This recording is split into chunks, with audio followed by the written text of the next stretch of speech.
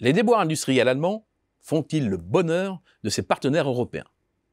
C'est ce que pourrait suggérer la hiérarchie des croissances en Europe, où une fois n'est pas coutume, l'Allemagne est surclassée par l'écrasante majorité des autres économies, notamment du Sud. Si cette hypothèse est vraie, encore faut-il être capable d'en expliquer les mécanismes. Avec l'Allemagne, tout part de l'industrie. Depuis la fin des années 2000, le pays a toujours été perçu comme un géant industriel dont la domination étouffait les marges et les volumes des pays périphériques. Et si l'on compare aujourd'hui la dynamique de la production manufacturière de l'Allemagne à celle du reste de l'UE, tout laisse à penser que la dégringolade allemande a créé un appel d'air pour le reste de l'Europe. Mais comment est-ce possible? L'Allemagne est aussi une grande nation importatrice. Elle inclut dans sa chaîne de sous-traitance toute une série de pays dont il est difficile d'imaginer qu'ils puissent avoir dorénavant une dynamique autonome.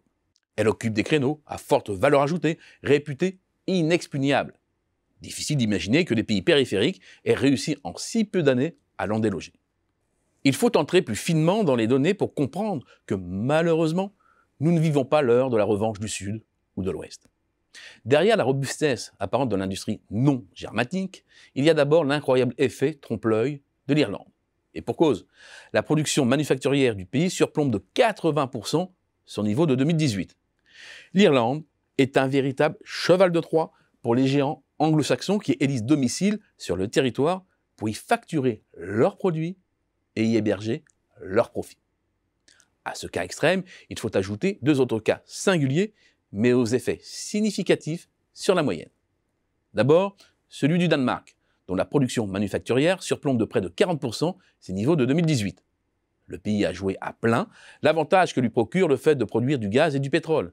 Mais surtout, il a développé des positionnements porteurs de niches à très forte valeur ajoutée, notamment dans la pharmacie, l'éolien et les biens d'équipement dont il récolte les dividendes.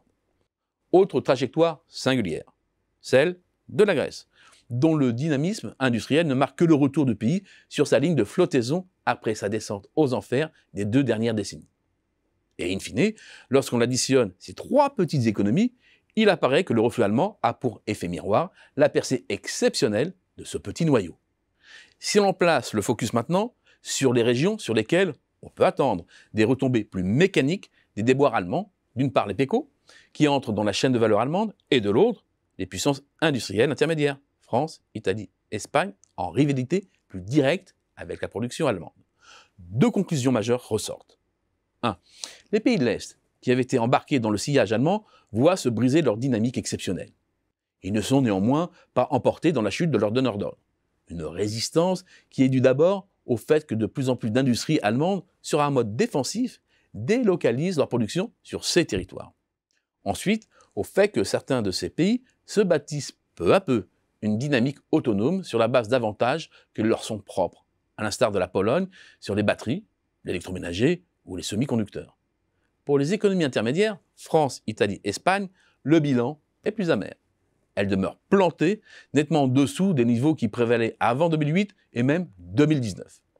Plus qu'un motif de satisfaction ou de revanche, les déboires industriels allemands risquent bien de préfigurer un affaiblissement généralisé du noyau dur de l'Europe.